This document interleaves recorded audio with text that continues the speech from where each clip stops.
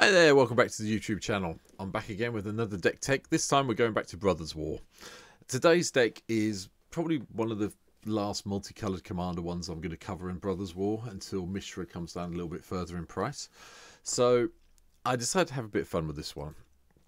Um, I'm not really sure why I picked this card today, but I wanted to try it out, and I think I've actually built a reasonable deck around it. I haven't seen many other people try and do this deck as a commander, so I'm hoping it's a little bit more popular than some of the other videos I've done recently have been.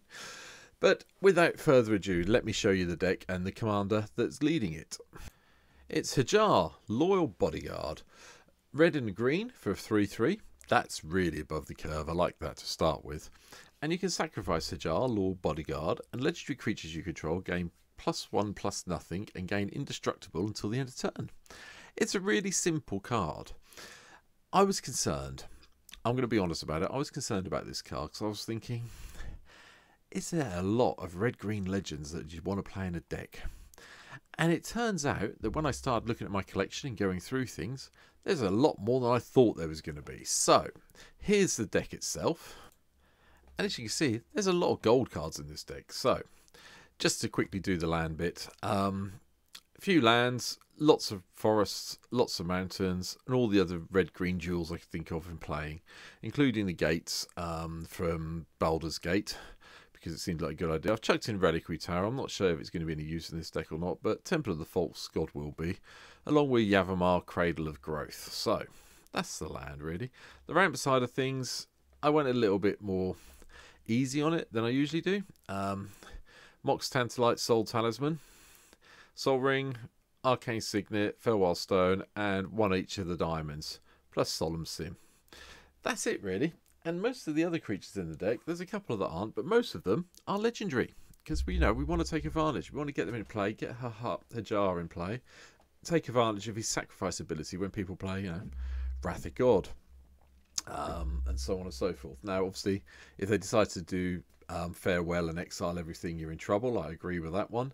But, you know, most people don't play. I haven't seen that many people playing farewell in the commander format on MTGO recently, um, or at all. So I figured it's worth a try, just trying it this way. So, the rest of the cards. If we haven't got Hajar in play, and our things do get rashed away, we've got Elixir of Immortality. It's a red deck, Dockside's in here. I know people are getting fed up when you're talking about this, but, you know, red decks, have Dockside in. End of. Most of my red, all my red decks now have Dockside in. But you know, if you don't agree with me, you know what to do. Hit the like button, hit the subscribe button, leave me a comment, and tell me when I'm wrong. I do respond respond to all the comments I get on my videos. So, Feldon's in as well, just so we can maybe exile top card of our library to play some more things. And then we got a little bit more ramp. We've got rampant growth. I've chucked in Sin Divines because I am a little bit concerned about people casting non-creature spells. We might as well get a little bit of damage in that way. And it's also a nice way of blowing up anything that's going to annoy us. Like, you know, if you watch my deck tech from yesterday, you know that Moat's in that deck. This is one way of dealing with Moat. Um, any other enchantments or artifacts that are annoying us, this gets around them and deals with them for us. Hence why it's here. Radha's the first of the legendary creatures. They're in the main deck. Uh, another green red one, but you know, you attack, you get a couple of red, or you can just tap it and add to green. Nice little bit of ramp. Over on the three drop side, Captain Lannery Storm for the treasure tokens. Krenko to make goblins when it attacks. Um, Azusa to drop all the lands out so we get those extra land drops, which is really nice. Beastmaster Ascension to make our legendary creatures and the things we have got on the deck even bigger because you know getting the seven attacks counters on here isn't that difficult, believe it or not. Cultivates in for a bit more ramp along with Growing rights of Itlimoc. You know, obviously we want to get four creatures in the play and have this flip at the end on the turn we play it if we can. But if we can't, we'll just play it early, find another creature and keep hoping we get there. Having that Gaea's Cradle effect is really nice in this deck. I've got Gwenna, Eyes of Gaia in as well. We've got some creatures that have got power 5 or more further up the curb that are legendary. And, you know, that extra mana ramp's always nice to have. Kodama's Reach is another part of the ramp card, along with Search for Tomorrow. And then we've got some interesting choices. I've put Grumgully the Generous in because although we have got some humans in the deck, we've got a lot of non-humans and having that plus one plus one counter on them could be really helpful later on in the game. You know, Hallar the Firefletcher's in as well Whenever you cast a spell, if that spell was kicked, put a plus one plus one counter on Hallar. We haven't really got anything that kicks at all, but you know, it's the way it goes, and it's a nice little 3 3 for 3 mana with trample. You know, hopefully, we'll play it after we've got Grumgullion so it comes in as a 4 4, so I can't complain too much. Svella Ice Shaper, just so we can make some icy Manaliths, it helps with the ramp. And at the end, when we get up to the mana level, we can always tap it and look at the top four cards of our library and hope we can play something without paying its mana costs. That's quite cool. Um, Chuva Bear Claws in as well. When it attacks, it gets plus X plus X until the end of the turn, where X is the greatest power amongst other creatures you control. A lot of the legendary creatures in this deck are bigger, so hopefully this will be a nice little pump when it does attack. Onto the four drop, I've chucked in Purphoros because, you know, might as well damage everyone when we get our creatures coming into play, especially with Krenko. You know, all those goblins coming to play really do help. Um, Atsushi in for the Blazing Sky bit of flying trample damage is always nice fun. And at the end of the day, if this dies, the treasure tokens will help us rebuild. Speaking of getting things killed, we've got chain reaction in for a little bit of board control, and we've also got the other Krenko in as well. Even if you just have this in play, you tap it. It's when it becomes un when it becomes unsummoning sick, and you get one goblin. Then you keep building it up from there, which is really nice from my point of view. Torbran, Thane of Redfell's in because we have got a lot of red sources, so we might as well get the extra damage in from this. Goreclaw, because creatures with power 4 or greater cost 2 less to cast, so that's nice, which works really very, very nicely with Gwenna. So, you know, we'll get there and hopefully get it a bit bigger. Guardian Project, so we can have some card draw. Court of the Bounty, so we can either put some lands into play if we still manage to be the Monarch, chuck one of our creatures in into play that we don't have to pay the mana cost for. Fantastic plan. Decimate I've picked up and put in the deck as well. Okay, you have to have one of each target. You have to have an artifact, creature, an enchantment, and a land. But four mana to sort of like slow down several of your opponents isn't a bad choice from my point of view. And then you've got a whole run of legendary creatures that cost four mana. So General Marhault Elsdragon's in because you know creatures you control become blocked. They get pumped. That's nice. Grada Warlord Radha, Grand Warlord Radha's in as well. Uh, whenever you attack, whenever one or more creatures you control attack, add that much mana in any combination of blue and green and red. Sorry, and it doesn't end. It doesn't lose. Leave the pool until your end turn turn. So that's nice. Halana and Alena, the partners, are in as well. Just to chucks around some more plus one plus one counters, and giving your creatures haste is really cool. Hans Eriksson because it's another creature. Yep, and if it does fight something, you get to put something in. Okay, fine by me. It may die quickly, but that's the way it goes. That's why Elixir of Immortality is here if we need it. Uh, Mina and Denn Wildborn. Extra land each turn. Return target land you control to its owner's hand. Target creature gets trample. Fine by me. Strag, Echo Warrior. Might as well have that come into play um, and have its legendary twin token as well. Okay, there's no auras or enchant um, equipment to take advantage of the second ability, but yeah, it's a it's potentially six attacking power for four mana. I'll cope with that. I've chucked in stimulus package because we will have ways of making treasures, you know, between this and Captain Krenko, um, Captain Lannery Storm, sorry, and yeah, we sack a treasure off, we get a um, green one-one white citizen creature token if we need a blocker instantly, so it does help a little bit. The Bloodsower as well. Deals combat damage to player. Create that many 1-1 green sapling tokens. Yep. It's going to be really hard to get this trampling over, but, you know, there is some ways of pumping things up, so hopefully we'll get there. Xenagos the Reveler's in. Uh, this is one of the few Planeswalkers. I decided to play it in for the mana ramp side of it, and that's why it's here.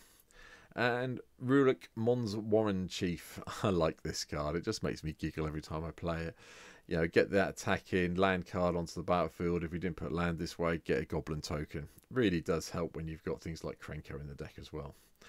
Going up to five drops, um, Cowliture, Fury of Avarice is in, just so we can get that extra attacking step if we need it. The Court of Ears in as well. Um, at the beginning of upkeep, we get to shock someone, and if we've got Monarchy still, we get to do some serious damage to a target instead, so that's fantastic. Rionya the Fire Dancer. Yep. Um, we haven't got that many instances of sorceries, but we can copy stuff and get an extra attack in. That's fine by me. Or, you know, maybe copy one of our legendary permanents that we need uh, and get some extra tokens off them with some of the ones I'm coming to. So it has its advantages. Kura, the Boundless Sky. I will be quite happy to copy this with Rionya and get those extra lands um, and put them into my hand if I need to, or create a spirit token every turn. Fine by me. Kodama of the North Tree, just for the Shroud ability. 6-4 with Trample for 5 mana. It's fairly hard to deal with, especially with Shroud. Um, Sunastian, the Falconer. I decided to go a bit old school with this one, and I like the mana ramp side of it for a couple of mana. And then Xenagos, God of Revels. This becomes a god very easily in this deck because of all the green and red um, multicolored creatures we have in the deck, so it's worth playing from my point of view. Moving on from there, uh, up to six drops. Inferno of Star Mounts. We get a nice big dragon that comes into play that can't be countered. Mana Reflection to help us build our mana up and make everything double, so that's cool. Multani. I haven't played Multani for a while. I decided to go back to original Dominaria for this and get Multani in the deck as well. It's quite nice if you bounce the two lands and get it from your graveyard back into hand. It means you've got a repeatable threat coming. Along with Thailand World Sculptors in as well. So and when you know we all know the world sculptor comes into play you get to do all the zero one grant uh, grant? Green plant creature tokens for each basic land we control. Now like i say that's one of the reasons we are heavy on basics is to make sure we can abuse this a little bit. But at the end of the day it's something we can copy with rio and keep building up those plant tokens. And if we get the landfall triggers as well we really can't complain with the amount of plants and how big they'll get very quickly old Gnawbone's in because we want treasures. We like treasures, you know. At the end of the day, if we get hit with um, old Gnawbone, we can always go back down to Stimulus package and sack those treasures off to make some 1-1 blockers if we really do need them. Omnath Locus of Rage. Um, might as well ha we're having this in because of the 5-5 ability. Landfall's really key in this deck. We will be hitting our lands quite regularly and getting some extra creatures come into play seems like a really good idea. And then when they die, lightning bolts all around. Thank you very much. Last few cards, a bit more control in the form of Blasphemous Act. You've seen this in a lot of my red decks. I think this is probably the best mass red removal spell that doesn't exile you. Okay, people have got pro reds, they get the damage prevented now. It does turn up a little bit more, but at the end of the day, Blasphemous Act, casting it for one red mana, doing one 13 damage to everything on the board, does mean you kind of win the games quite quickly. The Great Henge, life gain, tokens, you know, we don't can't get any tokens, but the plus one, plus ones and the actual counters, um, card draw really does help us with this deck. And finally, I decided to play Ghalta Primal Hunger. I wanted one more card. I wanted something big and gribbly at the top end. So I went with Ghalta. Um, again, it's quite easy in this deck to get this into play for two green mana. And it really does give your opponents headaches when that happens. But that's it that's my little take on Hajar. Um, I'll be playing it on stream during this week. Uh, this video is up on a Wednesday in the UK, late on a Tuesday night in the States, so you'll probably see this at some stage the following Sunday. But, you know, hit the like as I said before, hit the like button, hit the subscribe button, leave me some comments, let me know what I've missed out of this deck, and come and see what I'm playing on Twitch. And you'll see some of these decks that I talk about all through the channel. I keep all the decks even if they aren't loaded up, I can load them up quickly on MTGO. And if there's a deck you want to see that you've watched one of my videos about, jump on Twitch, let me know. I'll get it loaded up and we'll play it in the next game. So that's it from me for now. Thanks for watching this, and hopefully I will see you on Twitch soon. Take care. Have a nice day. Bye.